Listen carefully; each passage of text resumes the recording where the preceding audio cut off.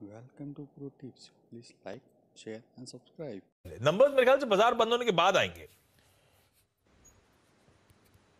देखिए आशीष भारती की बात करें तो ये स्टॉक ने काफ़ी टाइम के बाद यू you नो know, उसके 200 डे एवरेज को चैलेंज किया था इनफैक्ट स्लाइड भी हुआ था बट कल उसमें वापस थोड़ी बहुत रिकवरी आई है but you know technically speaking जब तक ये 720 का लेवल ऊपर ब्रेक नहीं होता है उसमें स्ट्रेंथ नहीं आएगी और हायर लेवल्स पे आपको थोड़ा बहुत सेलिंग दिखेगा। सो uh, रिज़ल्ट so, के बाद इसका यू नो know, uh, जो भी रिएक्शन है वो देखना काफ़ी इंपॉर्टेंट है। 720 ऑन दी हायर साइड तो अगर 720 ऊपर ब्रेक होता है तो उसका जो अपवर्ड ट्रैजेक्टरी है वो रिज्यूम होगा। बट अगर ये 690 के नीचे स्लाइड होता है तो फिर शायद से यू नो नियर टर्म में ये स्टॉक में थोड़ा पेन होगा और फिर आपको ये वापस 670 660 तक यू नो लुढ़कते हुए दिख सकता है। हम्म, ठीक बात तो ये भारतीय एयरटेल का व्यू आ गया है। अच्छा इस बीच पता नहीं होता साहब, जुड़े थे नहीं जुड़े थे, होता साहब कुछ देर में चार का चौका की शुरुआत होने वाली है, उसमें वीरू ने मेंशन करा था कि होता साहब देंगे एक बढ़िया सा मिड कैप पिक।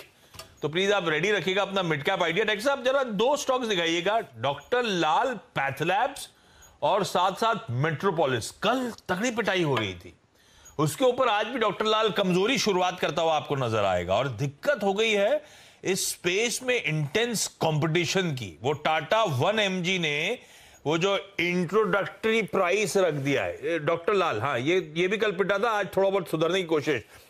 प्राइस जो है, सौ रुपए पर टेस्ट है वीरू और इस समय सारी कंपनीज़ वो टेस्ट जो तमाम है, पाँच सौ, साढ़े पाँच सौ, छह सौ रुपए पे करती हैं। टाटा वन एम आ गए सौ रुपए के भाव पे टेस्ट लेने के लिए। और अभी तो खैर वो करेंटली लिमिटेड है बेंगलुरु मार्केट में लेकिन इसने वो मूड बिगाड़ दिया है स्पेस का। होता साहब, ये डॉक्टर लाल जैसी कंपनी इंटेंस कंपटीशन सल करेंगे स्टॉक्स आप लोग का व्यू क्या है? बहुत पिटे हुए ऑफ़ हाई स्ट्रेट कर रहे हैं। लोगे आप, छोड़ दोगे इस समय? नहीं, ये तो जो टाटा एनर्जी ने एमजी ने लॉन्च किया है, बहुत ही कैनिबलाइजेशन कर रहा है ये प्राइस डिस्ट्रक्शन है, क्योंकि 600 का 100 में अगर वो लॉन्च कर रहे हैं, हालाँकि आपने पता है कि बेंगलोर मार्केट में है, लेकिन अगर पैन इंडिया में वो डेफिनेटली इनके सब पे मार्जिन पे इम्पैक्ट करेंगे। तो जो बड़े प्लेयर्स हैं, मुझे लगता है कि दो तीन क्वार्टर का थोड़ा सा अर्निंग इम्पैक्ट लेके वो तो स्टैंड कर लेंगे। लेकिन अच्छा है कि इसमें अनऑर्गेनाइज प्लेयर का जो है छोटे छोटे प्लेयर वो हट जाएँगे। अगर जिस तरह का प्राइसिंग एम जी लेके आ रहे हैं।